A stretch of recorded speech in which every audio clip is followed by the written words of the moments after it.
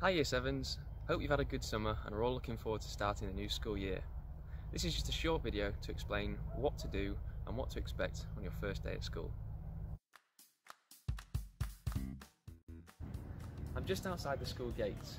When you arrive and walk through these gates on your first day, there will be lots of school staff around to help and direct you where to go.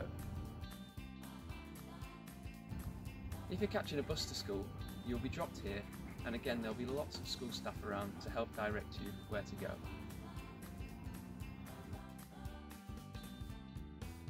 You'll be directed to the canteen where you'll meet your form tutor. They will take you to the form room and you'll spend the first hour and 20 minutes getting to know your form and a brief introduction to the school. Your first day will include having your photo taken and logging on to the school computer system. You'll also have a couple of lessons in the afternoon, so be sure to bring the equipment that Mr Lewis mentioned in his most recent letter.